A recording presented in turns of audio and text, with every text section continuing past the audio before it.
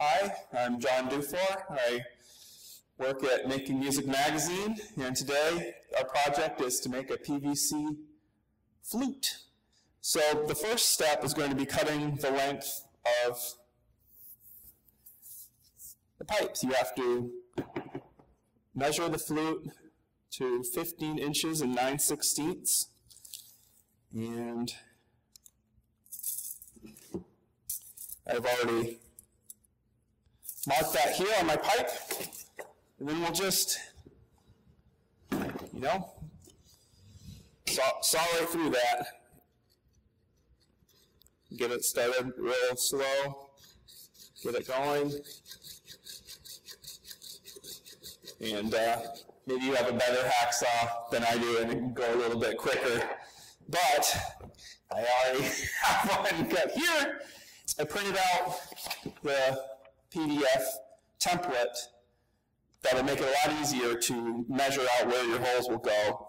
And I cut it in half so it would be easier to attach to the pipe um, from, from one side of it. Make sure you get it nice and level so that it's going straight.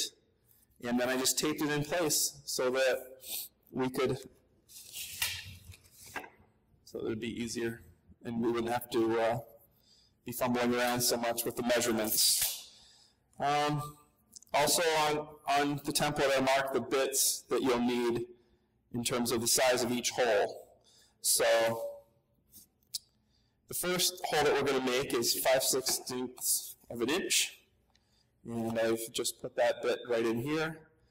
And to make, to make the, uh, you're just going to try to go really slowly so that it doesn't catch. And uh, cross our fingers and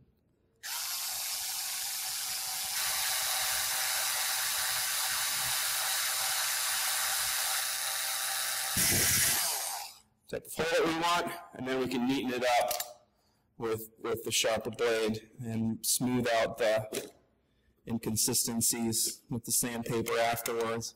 Or a Dremel, if you have that, would be really handy for this purpose if you could get a little bit that would smooth the edges and make a nicer thing. So there's a hole. We have our, our, our cap and our flute.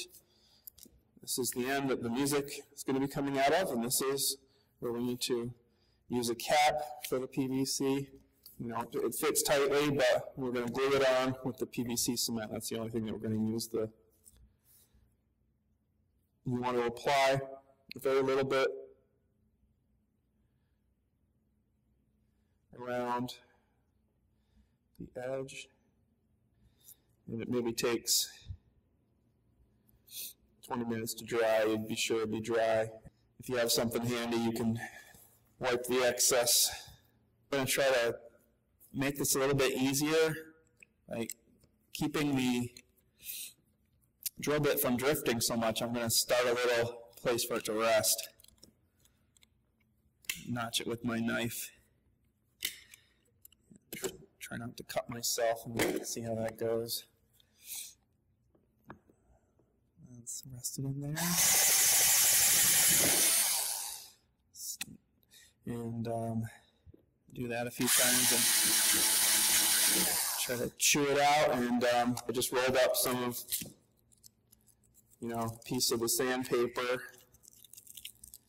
and sounds better with the smooth edges rather than a sharp, a too sharp of an edge will cause a hiss. So you just want to try to smooth it up. And that's kind of rough, but you get the idea just sort of smooth them, smooth them out a little bit as you go. Now we've got ourselves a flute. And the only thing left to do is to try to